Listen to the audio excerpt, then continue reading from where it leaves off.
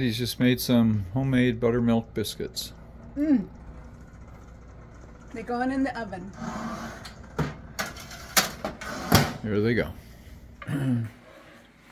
well, I'm making milk gravy.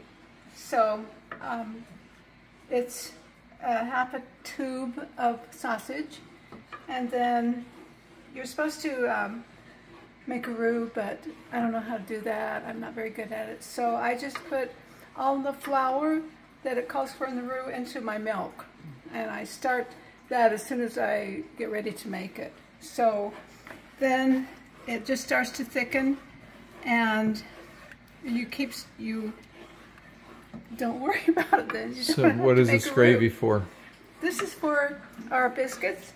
I usually make a pot as big as the world, but it's only Dougie and I, so I'm trying to cut back on my portion sizes. Looks good. And um, yeah, it's going to be really good. Is this a hard thing to make? Well, you have to realize that I grew up on a farm, so we had biscuits and gravy. We had biscuits and gravy. So this is my recipe. It has many different renditions of... Wait a minute, hold it still. Don't use this, use that. Here's don't the do recipe, this, guys. Do that. Dissolve the flour in milk first. Should take Here's 15 minutes notes. or so. Yes, so it's been many, many uses of this uh, Cool. recipe. Very so cool. We're looking forward to biscuits and gravy tonight. Cool. Come on over. Well, you have to see the biscuits first to see if we're gonna, if you want to come over. So Sandy's biscuits just came out of the oven. No calories spared. Don't they look good? Wow.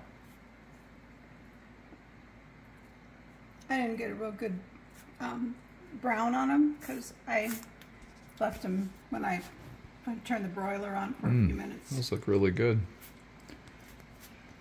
But I guarantee they're good. Guarantee it, huh? Here we go. Now food. Wow.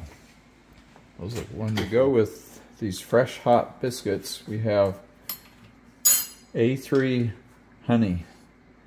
Rich, this is for you, bud. A3 Sky Warrior. We're going to pour some of this honey on one of these biscuits here. And I am sure it's going to be outstanding.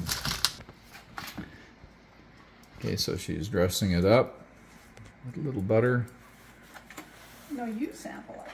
No, you go ahead. Well, I won't. I won't be hungry if I eat this. Home Zoo and Prospecting suggested that I not put Rich's honey on the shelf and keep it as a souvenir, but to make some biscuits and put butter on them and use Rich's honey. So that's what we're doing right here. Sandy is going to sample it. And then you're going to. And then we'll send one to Rich. It may be old by the time it gets there. Oh my goodness. Wow, look at that. This is so cool. Thank you, Rich, for that. That's so awesome.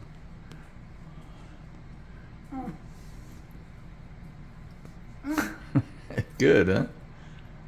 Then we have to buy a barrel. A barrel. Better get busy. Better get those bees going, Rich. Is it on? Yeah. Okay, I'm going to test it out here.